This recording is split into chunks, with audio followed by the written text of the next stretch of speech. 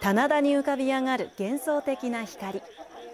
三重県熊野市の丸山千枚田で昨日初夏の風物詩虫送りが行われました。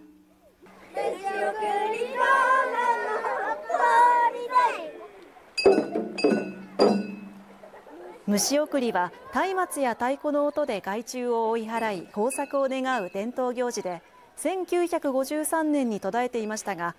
20年前に熊野古道が世界遺産に登録されたことをきっかけに復活しました。田んぼのあぜ道には棚田の枚数と同じ1340本のろうそくが灯され幻想的な風景が広がりました。